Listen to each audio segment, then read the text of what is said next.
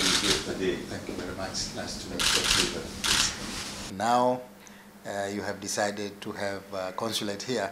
I think uh, we'll have you know more uh, speedy uh, implementation of what we have already discussed, and prob- probably we'll have more more areas of cooperation in the future.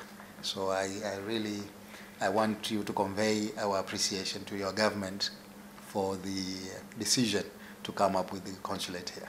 You know, we have a big interest to develop the relation with, with uh, Tanzania and Zanzibar, and we have common history and interest to, to build more and further relation to, to bring more people to come here and to visit there. As you know, we have also big community there. And uh, my government uh, decided to open this uh, general consulate since maybe a few years ago, but you know, Corona was the time, that's why we delayed.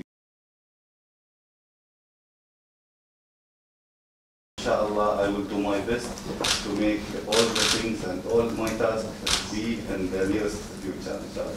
Thank you for receiving me.